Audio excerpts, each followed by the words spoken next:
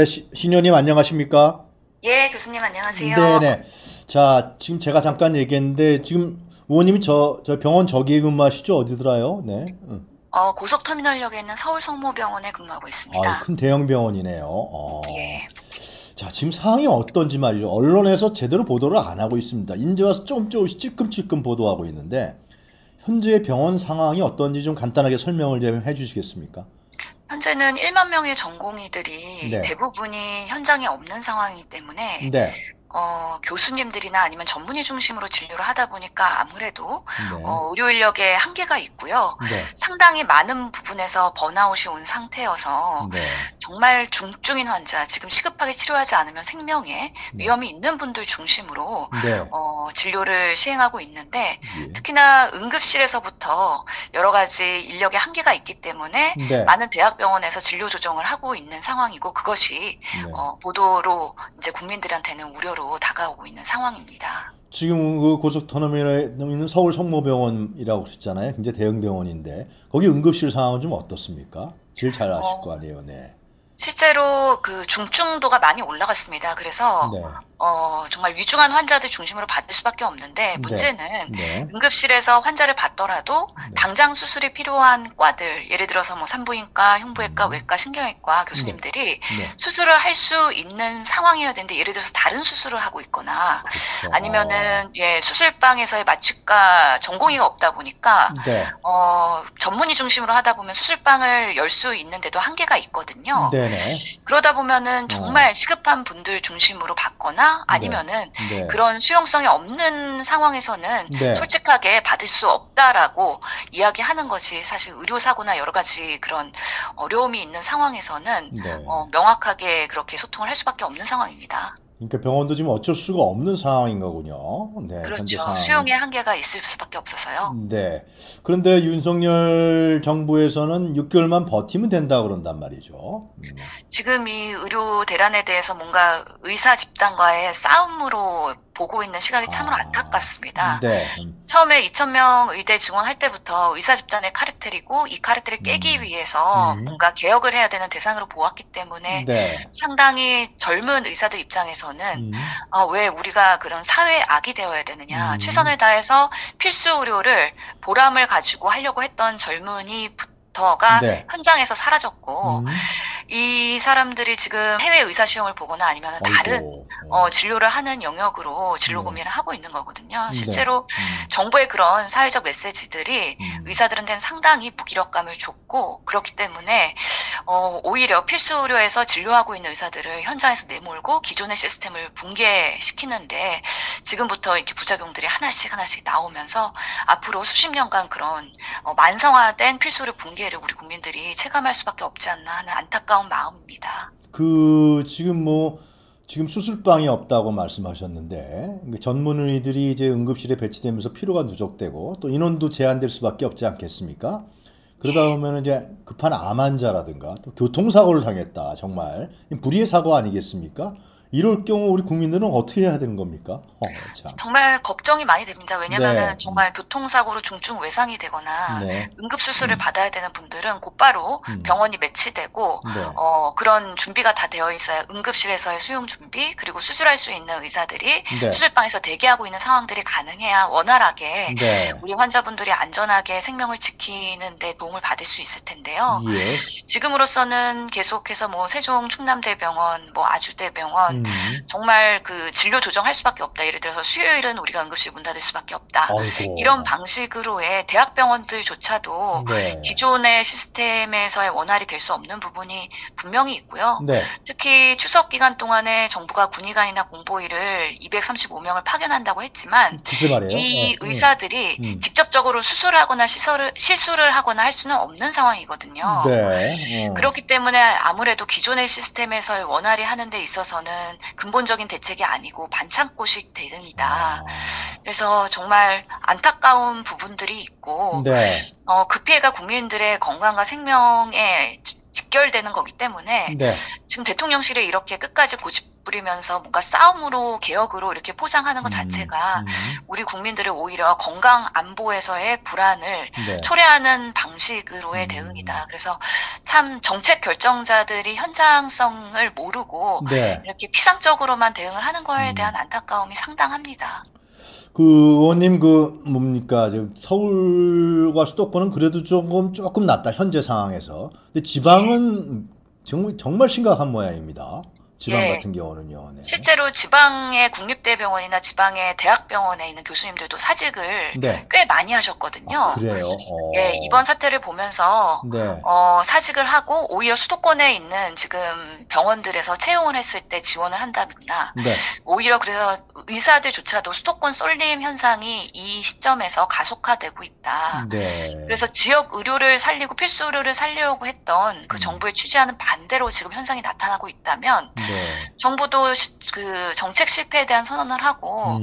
어떻게 하면 현장을 더 보완할 음. 수 있을까에 대한 고민을 해야 되는데 네. 실제로 매년 3천 명 배출되고 있는 의사들조차도 지금 현장에서 필수를 안 하겠다고 하는데 네. 5천 명을 배출한다고 과연 그 문제가 해결될까요? 음. 예, 그런 면에서의 그 정책의 선후 관계가 매우 부적절하다라고 네. 말할 수밖에 없습니다. 그 윤석열 대통령과 그 담당자들이 2천 명을 고집하는 이유는 딱 부러서 뭡니까? 도대체 참, 참 이해가 안 가는데요. 그래서- 정말 네. 의료계에서도 왜 2천 명이냐 아직도 어, 네. 실제로 25년에는 1,509명으로 조정을 했는데 그러면은 네. 근거조차 없는 상황에서 줄인 거 아니냐에 대한 네. 국회의 질타가 상당했죠. 음. 그리고 국회에서 교육위와 그리고 보건복지가 공동으로 청문회를 이 사안을 두고 했는데 네.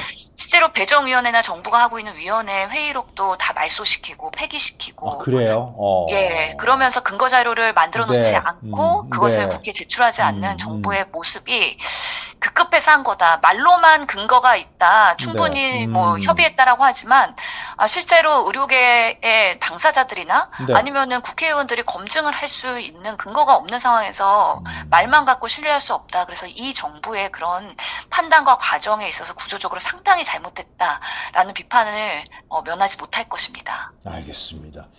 자, 시간이 많지 않아서 또 어, 우리 의원님도 바쁘시고 해서 오늘은 이 정도 정리하고요. 한번 저 스튜디오를 한번 모셔서 의원님한테 자세한 얘기를 좀 들을 수 있는 기회가 됐으면 좋겠습니다. 바, 바쁘시지 않을 때요. 네. 예, 이 상황에서 많은 국민들과 네. 의료계와 전문가들이 네. 문제가 있다라고 큰 목소리를 합쳐서 내야 어, 정말 대통령실도 움직일 수 있지 않을까 싶어서요. 네. 어, 집중 조명 보고 보도해 주시기 바랍니다. 네, 의원님 바쁘실 텐데 이렇게 전화 인터뷰 응해 주셔서 대단히 감사합니다. 고맙습니다.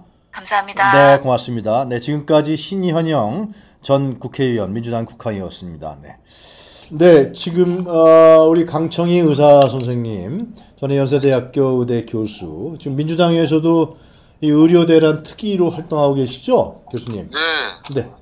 자, 먼저 전반적으로 지금 상황이 좀 어떻습니까? 네. 제가 특위를 통해서 이제 그 정확한 상황을 파악하고 있는 중이고요. 네. 되게 뭐 주변 의료인들 그다음에 어. 뉴스에 나오는 수준에서 저희도 정보를 갖고 있기 때문에 네. 되게 보면은 전공의 선생님들이 일단 93%가 이미 이탈을 했죠. 네. 사직을 한 네. 상태고 네. 네. 그러다 보니까 그 배후의 전문의들도 꽤 빠- 많이 병원을 비웠습니다. 네. 그래서 결국은 정부는 매번 발표할 때 네. 400개 병원이라고 이야기하지만 네. 실제로 전공의가 있던 병원은 100개 병원이고요. 음. 그 100개 병원에 상급 종합병원에 이제 문제가 생겼기 때문에 음. 현재 문제가 심각한데 네. 정부는 발표할 때 모수를 400개를 놓고 음. 퍼센트를 구하니까 음. 항상 뭐 많이 비지 않은 것처럼 네. 지금 얘기하고 있죠. 그래서 네. 저희가 뉴스에 난 거 보면은 두 살 된 여아가 아, 글쎄 말입니다. 음. 금방 치료수 치료했으면 좀 좋아졌을 그런 열성 경련 가지고 네. 의식 불명 상태에 빠져 있다는 거 아닙니까? 네네. 굉장히 비극적인 일이고요. 음. 또암 수술 환자들이 음. 뭐 1년 대기해야 되는 네. 이런 뭐 정말 대란 사태가 벌어져 있는 거죠. 음, 네. 그러니까 어. 통계에 잡히지 않는 음. 의료 대란이 음. 이미 우리한테 와 있고 네. 실제로 119 구급대 얘기 들어보면 네. 그 중증 우리 그 단계가 있는데 네. 레벨 1, 2, 3 이렇게 나가는 단계가 있는데 네. 활력 징후가 stable하면 네. 레벨 3에 들어갔는데 음. 그런 분들이 병원을 못 가니까 음. 구급차 안에서 사망하는 케이스도 실제로 발생한다. 네. 음. 이런 이야기를 저희 특위에 와서 증언한 바 있습니다. 그래서 네.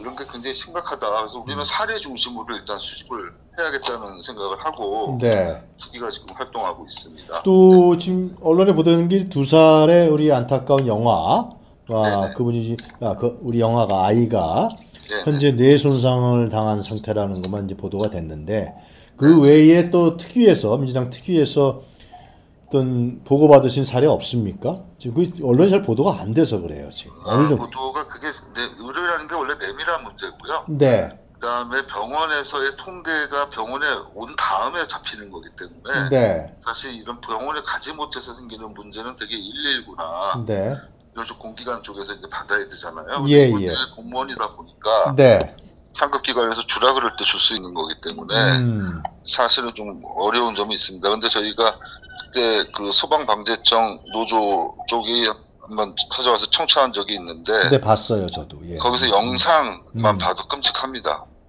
그래서 그런 일들이 음, 밖으로 노출이 안 됐기 때문에 그렇지 그거를 저희가 뭐 음, 국회를 통해서 이제 자료 요구하고 네. 받고 하는 과정을 통해서 음. 국민들께 알려드릴 수 있을 것 같습니다. 네. 자, 근데 이제 지- 제일 국민들이 지금 두렵고 어, 네. 지금 요즘에 인사가 뭔지 아시죠, 교수님? 네, 아프지 말라는 게 인사 아닙니까? 너 아픈 데 없었니? 네, 전에 네, 우리가 한국 전통적으로 밥 잘 먹었어 이거 아니었어요, 그죠? 어? 네, 네, 네. 너 점심 먹었어, 저녁 먹었었는데 네. 이제 너 아픈 데 없냐? 이게 참이 추석 연휴가 지금 이제 조금 있으면 다가오지 않습니까? 네, 네. 추석 연휴 때 아프면 어떻게 돼요? 이게 동네 개인 병원도 다 쉬잖아요, 그때는요. 어? 그렇죠. 근데 네. 지금 뭐 어. 정부 방침은 아마 동네 개인 병원을 많이 열어서 네, 경증 환자들을 좀 그쪽으로 돌려보자는 생각을 하고 네.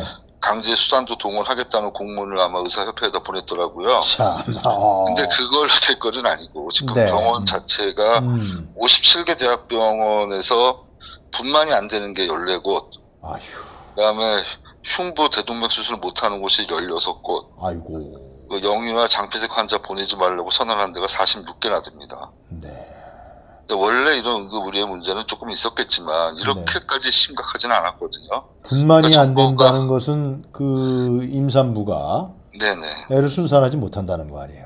상과를 보는 의사가 나갔다는 얘기죠. 그 분만하는 의사가 없기 때문에 예. 받지를 못하겠다 이거죠. 그럼 어떻게 어떻게 해야 돼요? 저, 이, 저는 이, 이 사태 지금 해결이 제가 네. 볼 때는 정부가 빨리 양보할 건 양보를 좀 하고 아니 아니 그 그게 안 일단은- 되잖아요. 지금 뭐 6개월 네. 동안 버티겠다는 거 아니에요? 그러니까 아, 5기 뭐 5기 5만 이런 거 갖고 좀 버틸 때가 아닌 것 같아요. 제가 볼 때는 국민들 생명이 제일 소중하지 않습니까? 아니 근데 이제 교수님 그거는 내가 네네. 저희 저희들이 봤을 때는 이미 끝났어. 네.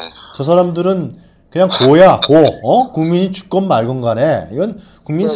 생명 담보가 아니라 국민의 어. 생명을 앗아가는 정권이거든요. 저희들이 봤을 때는. 자 그러면은 의사 선생님 입장에서 봤을 때 네. 산모가 네. 애를 출산해야 되는데 출산할 병원이 없어. 네. 추석 연휴 때 발생한 발생할 거 아니에요, 충분히? 이 사람들 조산소 가라 그럴 겁니다, 아마. 조산소 찾아서 가라고. 의사들 파업이니까 조산소 찾아서 가라.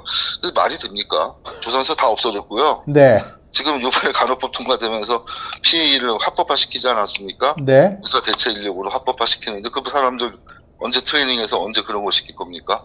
아니 조산소라는 다- 게 이제 자연분만이잖아요. 근데 병원에서는 수술을 통해서 우리, 아이를 우리나라는요 지금 고 노령 저 좀 나이가 든 상태에서 어. 결혼들을 하기 때문에 만혼이잖아요. 그러다 그렇죠. 보니까 어. 문제 있는 출산이 굉장히 많아졌습니다. 아, 그다음에 태어나서도 신생아 중환자실 치료가 돼야 아 그렇지. 어. 애를 받죠. 네. 그러니까 이런 게 소아과도 비고 산부인과도 선생 없고 그러면 분만을 못하는 경우가 이제 문제가 되는데 네, 그거는 이제 정년기에 뭐 사실 해당 사항이 있는 사람들이 느끼는 고통이니까 일반화되지 않아서 그렇지 네. 모든 환자 문제가 다 그렇습니다. 아픈 어. 사람만 피해를 보고 음. 아프지 않은 사람은 당장 나한테 해당이 없다고 생각하기 때문에 네. 위기를 인식하는 게 좀 시간이 오래 걸리는 거죠. 어. 하지만 지금 7개월이 지나면서 네, 7개월 동안 정부가 해법을 하나도 내놓은 게 없어요. 네, 그렇다고 의료계를 설득한 것도 없습니다. 네, 근데 사태는 이미 예견이 됐던 건데 네, 이렇게 강압적으로 무죄 붙이면 이런 문제가 생길 거라고 다 알고 있던 거거든요. 네, 그러면 사전에 대비를 해놨던지 네, 아니면 문제가 생겼을 때 푸는 정부의 노력이 필요한데 네. 그냥 아무 일 없, 아무 일 없는 것처럼 7개월 지나고 지금 와서 의료 개혁 아니라고 내놨는데 네. 그것도 실제로 이해관계 당사자가 받기 어려운 네. 그런 내용들을 넣어서 또 하고 싶었던 걸 또 하고 있어요. 그러니까 음. 이 모든 게 지금 다 좀 뭉개지고 있다고 좀 봐요. 붕괴라는 표현이 음. 뭉개지는 뭉개진다는 표현이잖아요. 그렇죠. 그걸 넘어서 어. 알고 이렇게 했다 그러면 의료 농단으로 간다 저는 이렇게 보고 있어요. 근데 왜 그러는 겁니까? 윤석열은 왜 그러는 거예요? 그 이유가 뭐야? 저는 어, 처음에 어. 이게 이렇게 무리하게 할 필요가 있을까? 2천 명의 목매일 이유가 있을까? 네. 이런 생각을 했는데 네. 첫 번째는 의사 독점권 해체의 목적이 있었겠죠. 예. 그땐 좀 지지를 받았죠, 좀. 네, 네. 건강이나 음. 생명에 대한 어떤 그 의료에 대한 독점권을 의사들이 갖고 있으니까 네. 그거를 이제 해체하는 하나의 음, 음. 작업이다. 음. 그다음에 의사를 많이 뽑아서 음. 의사 인건비를 내릴 수 있지 않을까 음. 이런 생각들을 했겠죠. 그다음에 네. 이게 결국은 추구하는 바가 뭐냐면 제가 볼 때는 의료 민영화 쪽 물꼬를 음. 튼다고 봐요. 이렇게 아니, 되면은 아니. 건강보험 해체가 되고 예. 의사가 많아지면서 건강보험 수요도 많아지고 음. 의료 이용이 늘면 음. 공보험으로는 도저히 커버가 안 됩니다. 음. 그러면 결국은 사보험의 역할이 자꾸 증대가 되고요. 네. 그다음 병원도 마찬가지예요. 병원도 지금까지의 병원으로 커버가 안 되니까 그 많은 인력들이 결국은 영리병원을 만들어서 음. 일을 하면서 영리 추구하게 돼 있죠. 네. 그러면 자연스럽게 민영화 되는 겁니다. 그게 뭐 어려운 게 아니라서요. 그런 어떤 저항을 낮추는 그런 효과가 있지 아니, 않나. 교수님 좋다 이거야. 그래, 니네들이 뭐 민영화 민영화 맨날 부르시는데 네, 네. 어? 의료도 민영화하는 정책을 앞으로 펼쳐나가겠다. 뭐 신자유주의건 뭐 누가 네. 네. 아 좋다 이거야. 어? 음, 네. 니네 정책이니까. 어? 그럼 협의하고 공론화 시켜서 국회에서 논의하는 거. 근데 왜 국민의 생명을 네. 이렇게 하냐 이거야 지금 아까도 그 이제 그 임신한 음? 예를 들면 뭐 네. 어, 임산부가 지금 어떻게 될 상황인지도 모르고 또 이제 우리 저 교수님은 흉부외과 의사 아니었습니까? 네, 네. 아까 흉부 무슨 수술이 불가능하다면서요? 그건 어떤 거예요? 흉부외과 수술을 할 수 있는 그 종류가 여러 가지가 있는데요. 네. 제일 어려운 수술이 대동맥 수술이 좀 어렵습니다, 사실은. 아 그래요? 어. 어. 근데 그걸 할 수 있는 면이 원래 그렇게 많지는 않았어요, 사실. 네. 전체가 다 할 수는 네. 없었지만. 네, 네, 네. 그래도 그 인력이 많이 들어가기 때문에 예. 훈련된 인력들이 있는 데서 가능한 것이거든요. 네. 그게 이제 뭐 정말 잘하는 데는 한두 군데로 줄은 거고요. 네.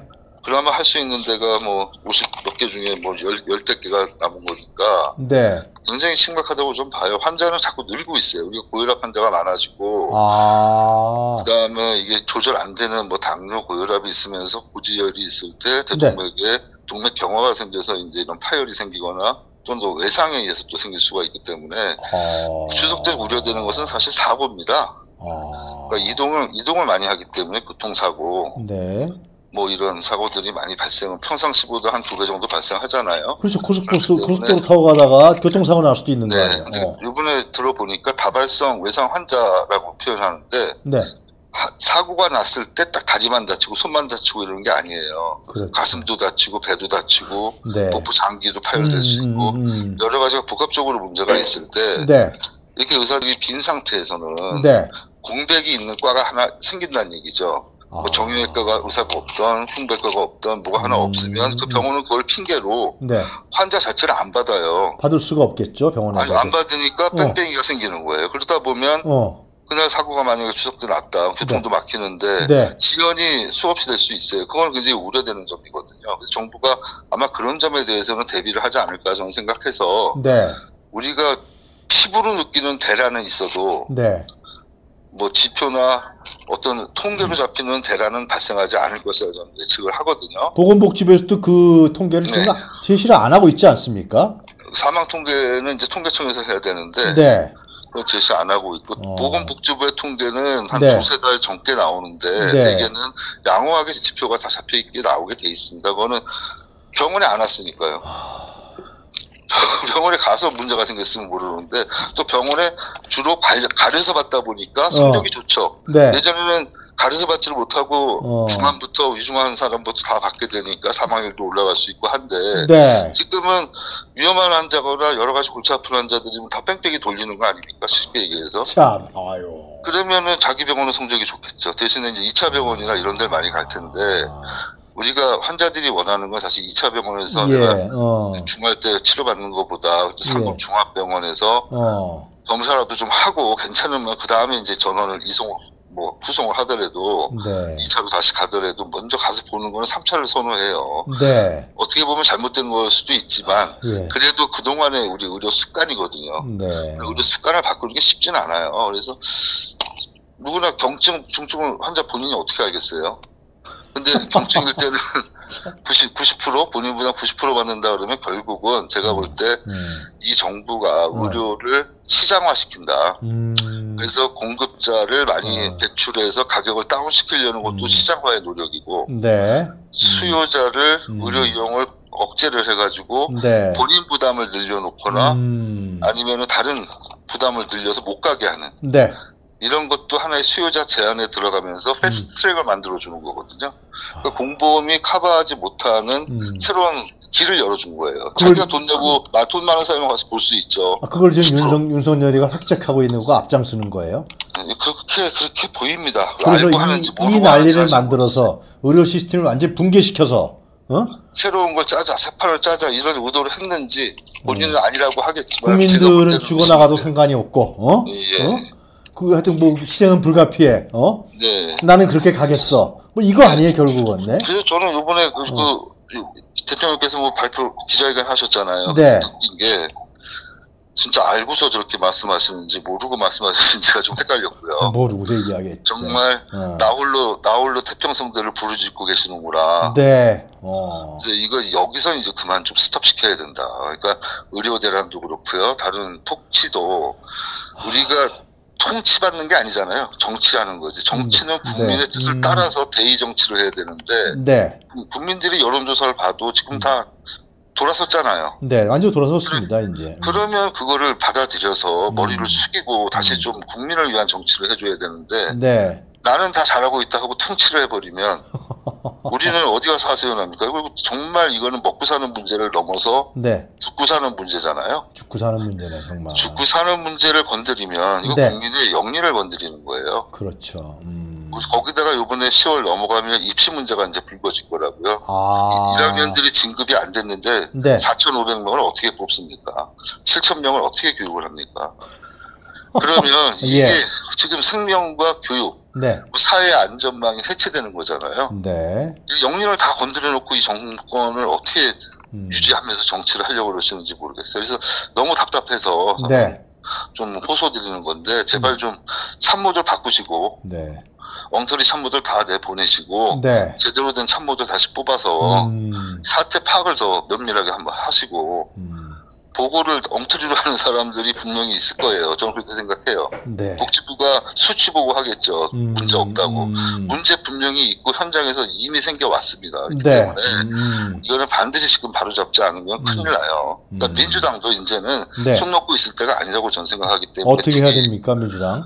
민주당 감시하고 음, 사례 수집하고 예. 정부가 더 못하는 길로 가는 걸 막고 음, 일단 대안을 준비해야죠. 근데 대안은 지금 당장 내놓을 거는 아니에요. 왜냐하면 혼란을 수습하고 갈등을 봉합하고 재난 상황에서 벗어나야 되잖아요. 그게, 안, 다음에 장기적인 플랜이 들어가는 거고요.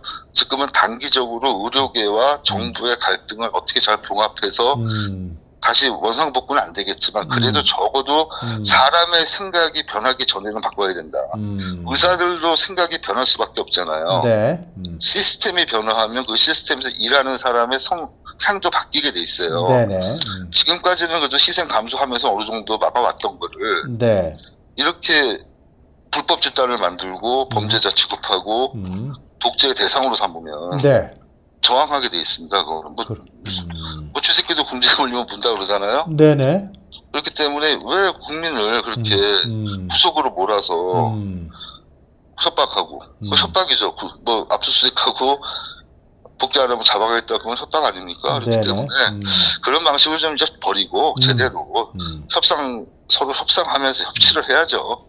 근데 안저할 거, 그걸 좀 부탁하고 싶어요. 교수님 안 할 것 같아.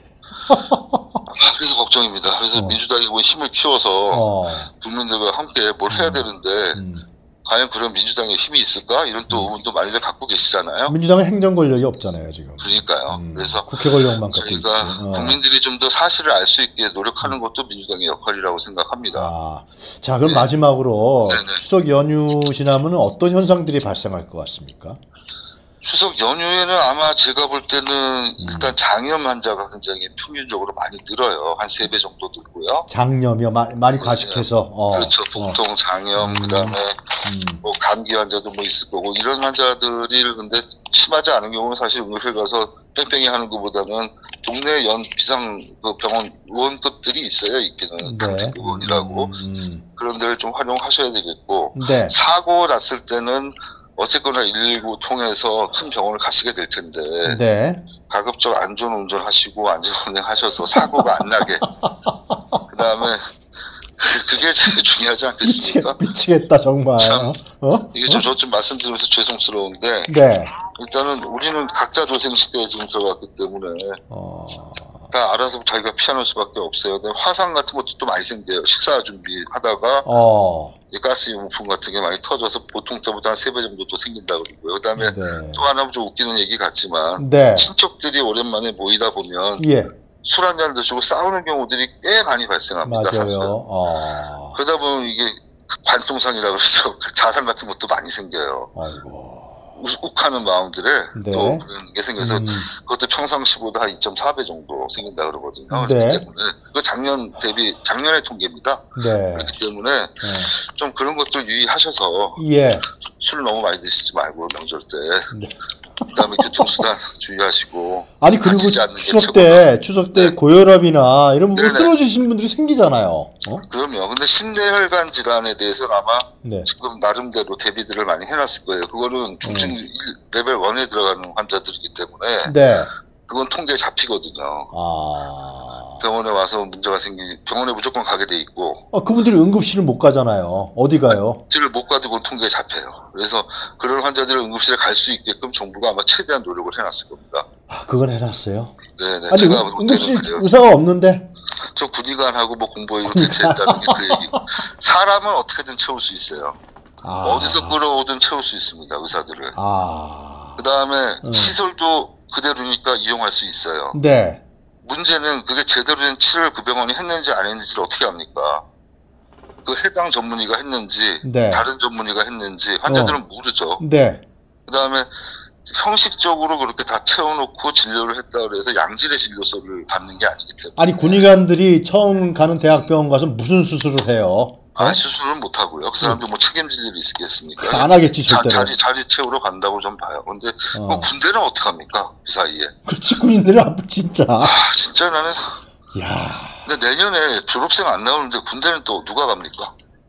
이게 지금 토탈 문제가 생겨요. 이렇게 되면. 아. 내년에 지금 졸업생이 안 나오게 돼 있잖아요. 다 휴학 중이니까. 네, 그렇죠. 그러면 어. 그 군의관과 공보원이 뭘로 채울 겁니까? 그러니까 정부가 이 교육 문제, 의료 문제를 한꺼번에 건드려 놓은 거라서 네. 의대 증원이라는 건 네. 그리고 양쪽에 응. 문제 해결이 안 되는 문제를 지금 갖고 시작을 했는데 네.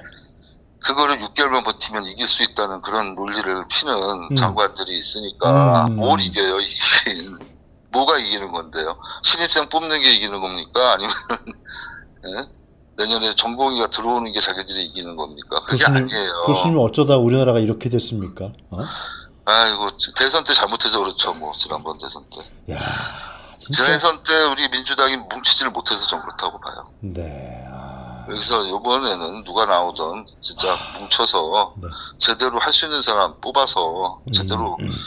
올바른 정책을 좀 수행을 해야죠. 또 국민을 무서워하는 정책을 해야죠. 과거에 문재인 정부 이거 추진하다가 멈췄잖아요. 맞아요. 음. 아 뜨거워하고 멈췄잖아요. 그게 음. 대통령이고 그게 정부 아닙니까? 음. 다, 그럼 돌다리 두들겨서 가야죠. 자, 뭐 오늘 좀 바쁘신 거로 제가 개인적으로 네네네. 바쁘. 그 마지막으로 간단하게 하실 말씀 있으면 네. 하시고 정리하죠. 예. 저는 뭐 좀 흉부외과 의사지만 일단 정치계로 나왔습니다. 나와서 네. 음. 강남 닥터라고 그러고 강남을에서 활동하고 있는데 네. 앞으로 이 의료 대란 문제 사실 해결을 위해서 저는 총선 때 많은 이야기도 했고 네. 제가 막 입성하면 이걸 반드시 막겠다는 생각을 하고 있었어요. 근데 네. 지금 원해지만 네. 열심히 활동해서 네. 제가 의사 출신으로서 반드시 불행한 사태는 음. 더 막아내겠다는 말씀 약속드립니다. 네. 지금 민주당이 할 일은 하여튼 불행한 사태를 막는 거네. 어? 그렇죠. 지금 단계는 막아야 되는 밖에는 뭐 미션이 없습니다. 그래서 오늘 당 대표님도 아마 저기 고대병원 네. 안암병원 에다 모시고 2시경에 아. 현장 방문하는 걸로 저는 얘기 들었습니다. 네네. 유- 윤석열이가 현장 가보라 그랬잖아. 본인이 아, 가셔야 돼요, 본인이. 본인은 안 가, 5개월째 가, 가본 적이 없대요. 현장만 가서 병원 봐서는 안 되고요. 사실 그 119 구급차에 밤에 동승해서 봐야 됩니다. 그러면 현장 보실 겁니다, 아마. 네. 알겠습니다. 자, 네네. 오늘 교수님 바쁘신데 감사합니다. 네, 감사합니다. 네, 감사합니다. 예.